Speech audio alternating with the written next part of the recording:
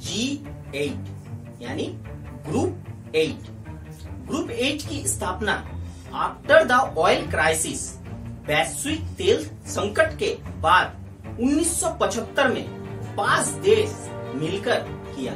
ये पाँच देश है, अमेरिका, ब्रिटेन, पश्चिम जर्मनी, जापान और फ्रांस।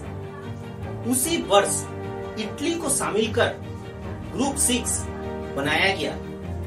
उसके जस्ट एक साल बाद 1976 को कनाडा को शामिल कर इसे ग्रुप सेवन बनाया गया।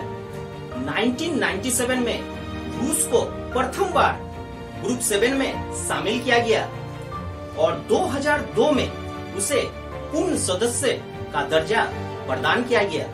इस प्रकार ये संस्था ग्रुप एट बना। लेकिन रूस द्वारा क्रीमिया विलय के कारण उसे 2014 में निलंबित कर दिया गया। इस प्रकार जी एट जी सेवन में बदल गया। जी सेवन का 48वां बैठक 2022 में जर्मनी में हुआ, जबकि उनचासवां बैठक 2023 में जापान में होने वाला है।